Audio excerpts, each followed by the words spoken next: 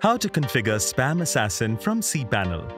In this video, learn how to manage spam filter settings for your email accounts in the Spam Assassin tool in cPanel.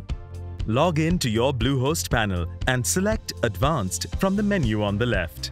Scroll down to the Email section and select Spam Filters.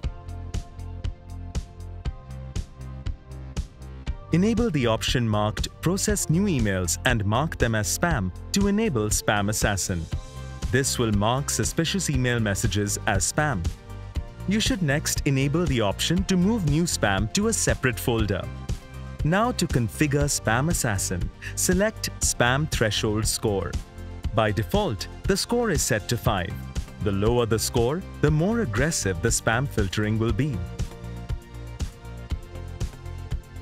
While you have several scores to choose from, you can also set a custom score, such as 4.5. Hit Update and return to the overview page.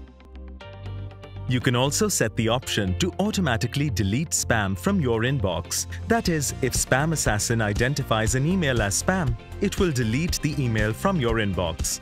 Another helpful option is under the Advanced Users section.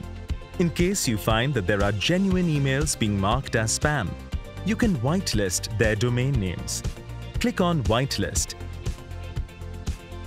Add the email ID and update the list.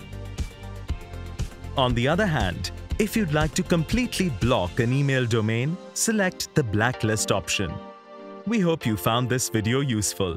Subscribe for more helpful videos from Bluehost.